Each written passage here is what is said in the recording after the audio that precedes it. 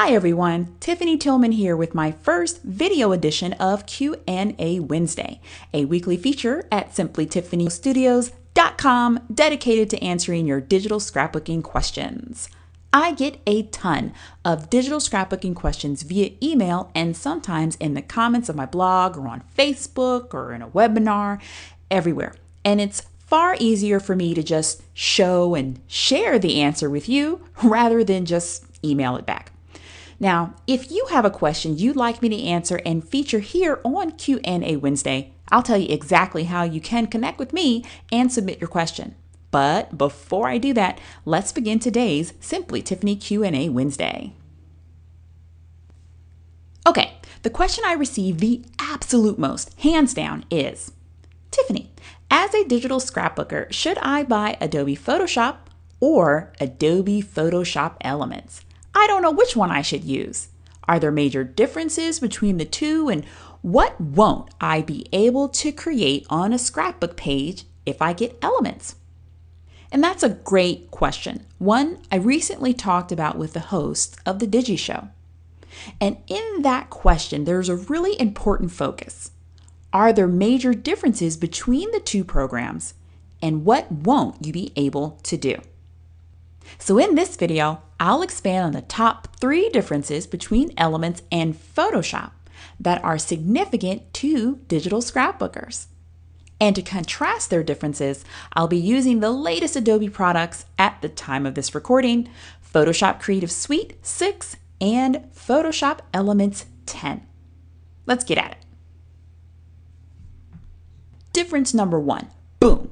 If there's one thing that sets Digi Scrappers apart from paper scrappers, it's having a brush tool at our disposal. Can I get a high five? Yes, high five. Thank you. We all agree. Okay, good. Now, both Photoshop and Photoshop Elements have a brush tool, which you can use to paint, destroy, and otherwise make most anything you dream. This is the brush panel in Elements. Now, as you can see, there are controls to customize the brush tip's fade, color, scattering, spacing, angle, hardness, and roundness. It's a pretty robust panel and works even better when you pair these controls with a Wacom pen tablet, for example, and the brush tablet options located here in the options bar. In Photoshop, however, this panel is on steroids. Not only can you adjust the basics of a tip shape, like you saw in Elements, you can move far beyond those controls and work with many advanced settings like adding texture, which Digi designers use to create something like more realistic stitches.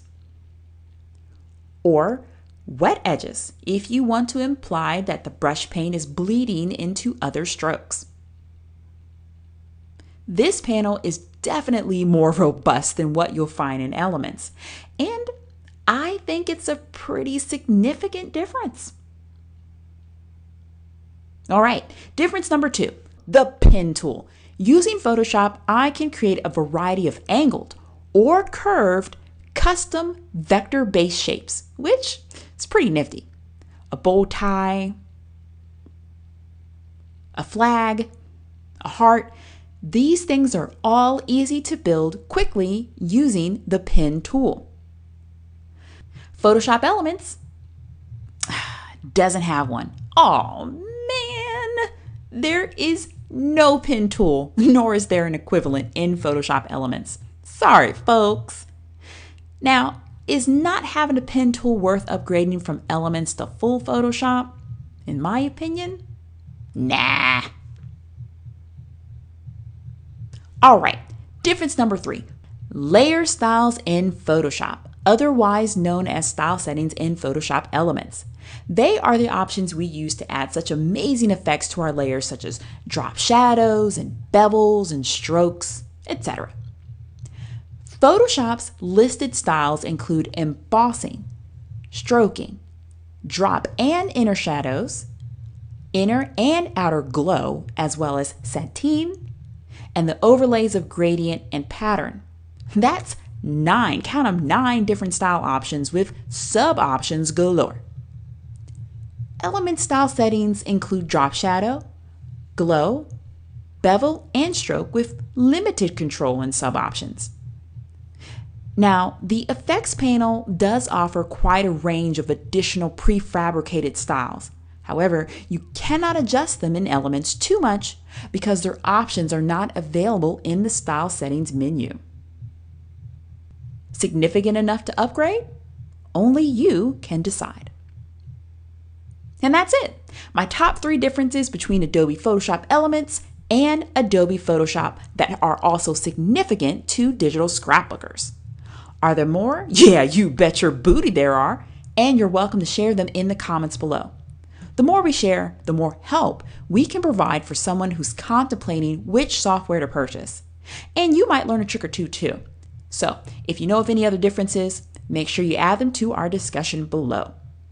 Speaking of sharing, if you like this video, share it with a friend or two on Facebook or Twitter or wherever you hang out, and then become a subscriber to this page so you can have immediate access to the next Simply Tiffany Q&A Wednesday video as soon as it goes live. Finally, have a question you'd like to see answered here? I hope you do. Click on the Submit a Q&A question link and use the handy dandy form to send me your question. And guess what? If your question is selected, I'll send you a $10 gift certificate good for any product at my Design House Digital store. Deal? Deal. All right, gals. Until next Wednesday's Q&A, happy scrapbooking.